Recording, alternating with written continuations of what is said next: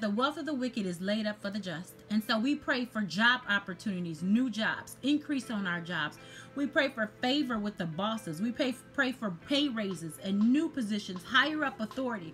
We pray, pray for newfound careers, discounts, sales, unexplained money in the bank account. People walking up to us and blessing and giving us money and donating money to us money owed in trust funds and wills to be released, money owed to us by taxes, everything to be released now in the name of Jesus that is owed to us. And Father, we declare that when our money come, because it is coming, we will have wisdom to use it, to save it, to invest it. We decree financial blessings, financial freedom, overflow in money, overflow in our finances, open doors of opportunity.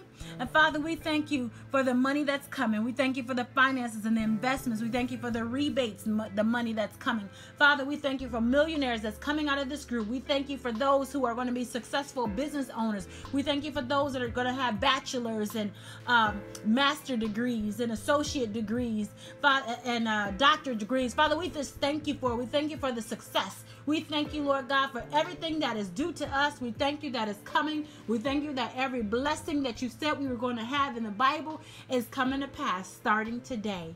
And we thank you, we thank you, we thank you. In Jesus' name we pray. Amen. Make sure you guys come in agreement and say amen in the comment section. God bless you. Bye bye.